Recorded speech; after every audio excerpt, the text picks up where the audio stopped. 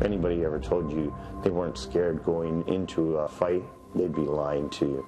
I fought to win. That's why I ended up working my way up to a full patch member of the Hells Angels. You know, I was involved in GHB, amphetamines, crack cocaine. Now I'm at rock bottom. If I didn't listen this time, I would not be here today. I never want to see a kid go through this. Powerful stuff. That's Joe Calendino. He's our guest here this morning, former Hells Angels member, but now making it his life's mission uh, to help kids and prevent kids uh, of all ages from getting involved with the gang lifestyle and dangerous life choices. Joe, what are some of the early warning signs that we should be watching out for? Well, some of the behaviors that um, parents and uh, guardians and, um, you know, family members should be watching for are a shift in behaviors. A, first and foremost, you know, clothing, um, dual phones, um, his pro-social kind of people that he's hanging out with. And the list goes on and on and on, right? But the key component is for parents, adults, and safe and healthy role models to truly be able to have a conversation with their kids. How do we start that conversation? You start slow, depending on the age. You know, um, the younger, you want to start with choices. And when you're talking about younger, how young?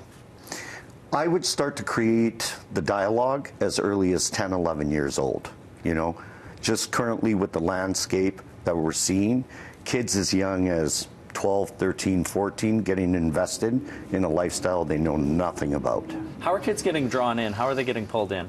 Uh, peer pressure, um, manipulation, you know, that sense of belonging that they're seeking.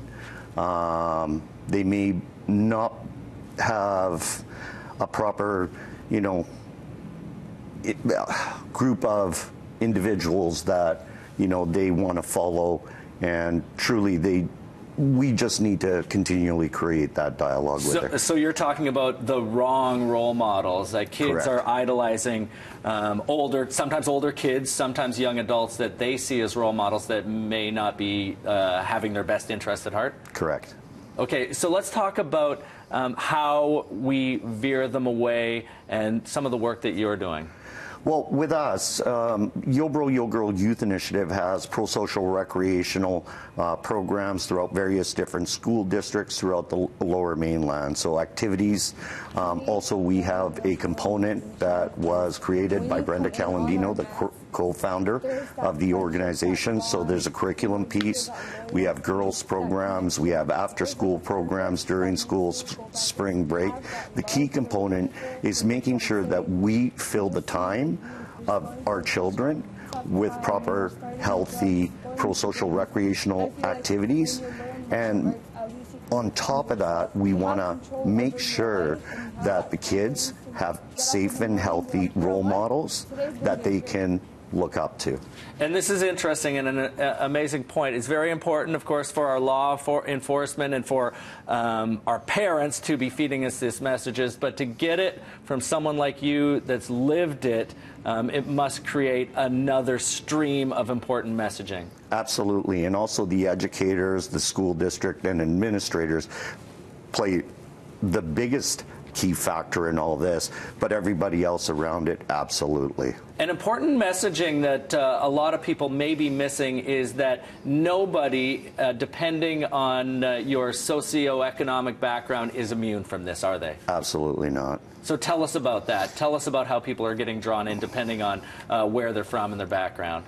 Well, you know, depending on the background, um, we're seeing a wide variety of children make these choices. You know, the socioeconomical component, and another component I think we're uh, really need to address is the mental health component. I am not an expert in the field, but the educational director, Brenda Calendino, is, and co-founder. So, you know, just creating that awareness, making sure that we understand where the kids are at.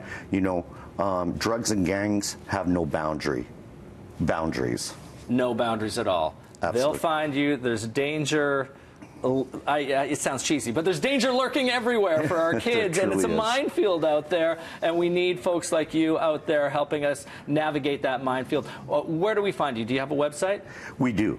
Our website is ybyg.ca, YGYB.ca. ybyg.ca. Excellent. Thanks so much. Incredible information, Joe. Thank you. All right, coming up, Mary has